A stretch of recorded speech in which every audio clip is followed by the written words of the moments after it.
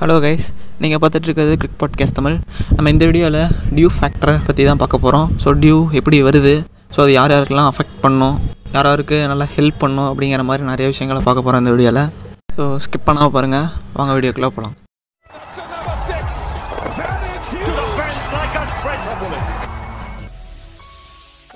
இந்த டியூ ஃபேக்ட்ருங்கிறது ஒரு மேட்சோட டாஸ்லேருந்து ஆரம்பித்து அன்னைக்கு கேமில் யார் ஜெயிக்க போகிறாங்கிற வரைக்கும் தீர்மானிக்கக்கூடிய ஒரு இம்பார்ட்டன்ட் ஃபேக்டர் தான் இந்த டியூ ஃபேக்டர் ஸோ கேப்டன்ஸோட டிசிஷன்ஸே இந்த டியூ ஃபேக்டர் பொறுத்து தான் இருக்கும் அவங்க பவுலிங் போட போகிறாங்களா இல்லை பேட்டிங் பண்ண போகிறாங்களாங்கிறதே இந்த டியூ ஃபேக்டரை பொறுத்து தான் இருக்கும்.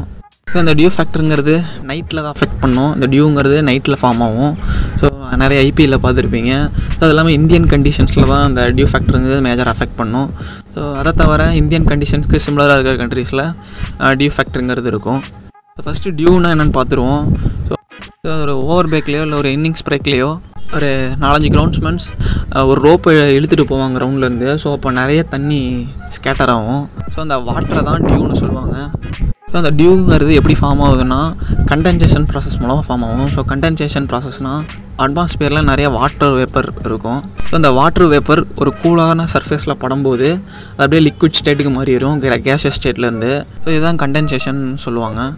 சர்ஃபேஸ் வந்து ஒரு செவன் தேர்ட்டி டு எயிட்குள்ளே கூல் டவுன் ஆகிடும் ஃபுல்லாகவே ஸோ அதுக்கப்புறம் அந்த வாட்டர் வேப்பர் அந்த காற்றுல இருக்கக்கூடிய நீராவி கூலாக இருக்கிற அந்த கிரவுண்டில் படும்போது அப்படியே அது வந்து லிக்விட் ஸ்டேட்டுக்கு மாறனால அப்படியே அதில் அந்த கிராஸ்லேயே படிஞ்சிரும் அந்த டியூங்கிறது ஸோ இப்படி தான் கிரவுண்ட்ஸில் வந்து டியூ ஃபார்ம் ஆகும்.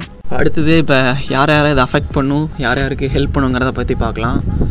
ஃபஸ்ட்டு பவுலர்ஸ்லேருந்து ஆரம்பிப்போம். ஸோ பவுலர்ஸ் தான் இதில் ரொம்ப கஷ்டப்படுவாங்க. பேசர்ஸ் ஸ்பின்னர்ஸ் ரெண்டு பேருமே கஷ்டப்படுவாங்க. பட் இந்த ஸ்பின்னர்ஸ் தான் மோஸ்ட்டாக சஃபர் ஆவாங்க. இப்போ அந்த டியூ கிரவுண்டில் ஃபார்ம் ஆனதுக்கப்புறம் ஒவ்வொரு தட்டியும் பால் அந்த அவுட் ஃபீல்டில் போகிறப்ப பால் ரொம்ப வெட்டாயிடும். அந்த டியூ இருக்கிறனால. ஃபுல்லாகவே ஈரமாயிரும். ஸோ ஈரமானதுக்கப்புறம் வழுக்க ஆரம்பிச்சிடும் பால் கரெக்டாக க்ரிப் பண்ணி போட முடியாது பாலை பேசஸால் சீமை பிடிச்சி போட முடியாது. ஸோ சீம் பிடிச்சி போடும்போது பால் ஒரு யாக்கர் ட்ரை பண்ணாங்கன்னா ஃபுல் டாஸாக போகலாம்.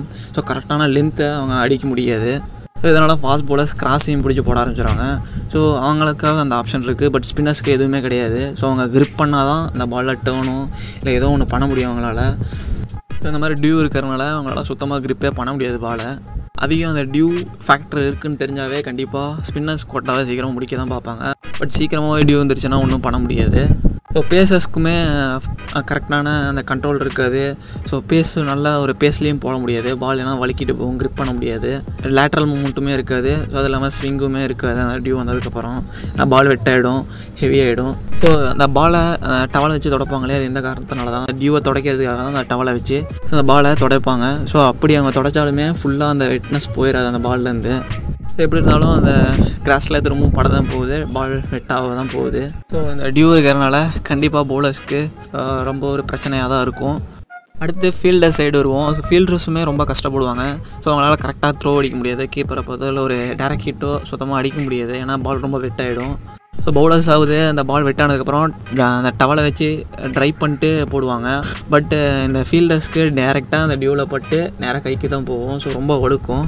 ஸோ அவங்களால கரெக்டாக எடுத்து த்ரோ அடிக்க முடியாது. ஸோ ஹை கேச்சஸுமே ரொம்ப கஷ்டமாக இருக்கும். ஸோ ஹை கேச்சஸில் அந்த பால் டக்குன்னு பாப்பாவும் அந்த மாதிரி வெட்டாக இருக்கிறனால வழுக்கும். ஸோ அவங்க கேச்சஸுமே க எடுக்கிறது கஷ்டமாக இருக்கும். அந்த டியூ வந்ததுக்கப்புறம் ஸோ மொத்தத்தில் பார்க்க போனால் அந்த டியூ வந்ததுக்கப்புறம் ஃபீல்டிங் டீம் ரொம்ப கஷ்டப்படுவாங்க. அவங்களால ஒன்றுமே பண்ண முடியாது. அடுத்து பேட்டிங் சைடுக்கு வருவோம்.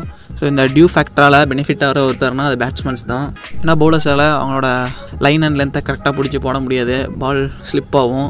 இப்போ ஸ்பின்னர்ஸாலேயும் அந்தளவுக்கு டேர்ன்லாம் பண்ண முடியாது. சுத்தமாக கிரிப்பே பண்ண முடியாது. அந்த அந்த பாலில் அந்த வெட்னஸ் இருக்கிறனால ஸோ அது இல்லாமல் பால் நல்லா ஸ்கிட்டாகி பேட்டுக்கு வரும். பால் வெட்டாக இருக்கிறனால லேட்ரல் மூமெண்ட்லாம் அந்தளவுக்கு எதுவுமே இருக்காது. பட் ஒரே ஒரு டிஸ்அட்வான்டேஜ்னால் அந்த அவுட்ஃபீல்ட் ஸ்லோவாக இருக்கும். ஏன்னா அந்த வெட்ட நிறைய ஈரம் இருக்கிறனால பால் அந்தளவுக்கு ஃபாஸ்ட்டாக போகாது. கிளாசிக்கெலாம் அந்த டைமிங்கில் ஆடுற பிளேயர்ஸ் கொஞ்சம் கஷ்டப்படுவாங்க. ஸோ பவர் ஹிட்டர்ஸ்க்கு பிரச்சனையே கிடையாது. ஸோ அந்த மாதிரி கிரவுண்டோடு ஆடும்போது பவர் கொடுத்தா தான் அந்த பால் பவுண்டரி ரீச் ஆகும். ஃபாஸ்ட்டாக போகும். இந்த ஃபஸ்ட்டு பேட்டிங் ஆகிற டீம் ஒரு நல்ல ஸ்கோரே போஸ்ட் பண்ணியிருந்தா கூட சேஸ் பண்ணுற டீம் அந்த டியூ வந்ததுக்கப்புறம் அவங்க ஈஸியாக சேஸ் பண்ண முடியும் எவ்வளோ பெரிய ஸ்கோராக இருந்தாலும். இந்த டியூ ஃபேக்டர் இருக்குன்னு தெரிஞ்சாவே கேப்டன்ஸ் அவங்க டாஸ் வின் பண்ணதுக்கப்புறம் கண்டிப்பாக பவுலிங் தான் எடுப்பாங்க. ஒரு நல்ல பிச்சாகவே இருந்தால் கூட ஸோ இந்த மாதிரி டியூ வர ஆரம்பிச்சதுக்கப்புறம் பவுலர்ஸுமே வெட் பாலில் ப்ராக்டிஸ் பண்ண ஆரம்பிச்சிட்டாங்க. ஸோ பாலை வெட் பண்ணி அதில் பவுலிங் போட ஆரம்பிச்சிட்டாங்க. ஸோ இப்போ உங்களுக்கு இந்த வீடியோவில் டியூங்கிறது என்ன? அது யாருக்கு அட்வான்டேஜாக இருக்கும்? யாருக்கு டிஸ்அட்வான்டேஜாக இருக்கும்? அப்படிங்கிற மாதிரி நிறைய தெரிஞ்சுட்டு இருந்திருப்பீங்கன்னு நினைக்கிறேன். இன்னொரு ஒரு கான்செப்ட் வீடியோவில் மீட் பண்ணலாம். Bye guys